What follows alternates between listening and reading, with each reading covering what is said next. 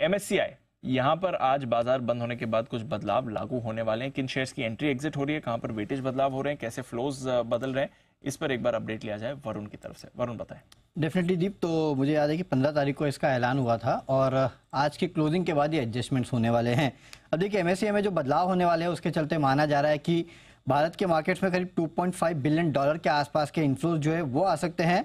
MSCI index में अगर small cap में देखेंगे तो भारत के स्टॉक्स की कुल संख्या 497 हो जाएगी और एमएससीआई स्टैंडर्ड इंडेक्स में अगर आप देखेंगे 136 से बढ़ के 146 और वेटेज जो है 18.3 परसेंट से बढ़ के 19 परसेंट के आसपास हो जाएगा।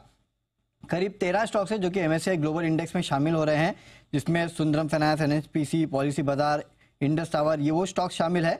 थर्मैक्स भी है तो यहाँ पे शामिल होने के चलते 1300 से 2000 करोड़ रुपए के आसपास इन्फ्लोज यहाँ पे आ सकते हैं।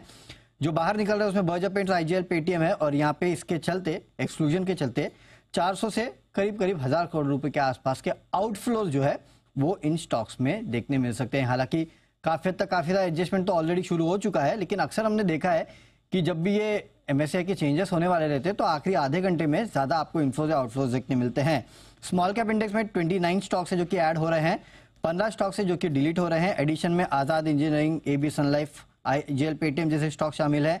और एक्सक्लूजन में Alok Industries Borosil Dream Folks ये तमाम वो स्टॉक्स है जो कि शामिल है। वेट इंक्रीज में AU Small Finance Bank Vedanta Zomato Polycab जैसे स्टॉक शामिल है। और यहाँ पे करीब 100 से 700 करोड़ रुपए के आसपास के इन्फ्लोज है और रिडक्शन में Dabur ICIC Lombard Jubilant food शामिल है, जहाँ पे डेढ़ सौ से 400 करोड़ रुपए के आसपास के आउटफ्लोज हो सकते हैं। तो ये वो लिस्ट है जहाँ पे आपको नज़र रखनी है। कल सारे के सारे ये बदलाव होंगे लागू, लेकिन अभी आधा घंटा बचा है तो लेट सी इन स्टॉक्स में कोई हलचल देखने मिलती है कि नहीं। तो यह है कुछ काउंटर्स जहाँ पर आप बदलाव होते हुए देख रहे हैं। आ, थोड़ा स्टॉक्स में एक्शन है बट ऑफ़ कोर्स बाज़ार जब ऐसा हो तो काफ़ी सारे ये एक्शन मिस भी हो जाता है स्क्रीन पर जिस तरह से इस समय सेलिंग प्रेशर बना हुआ है। 200 पॉइंट नीचे बाईस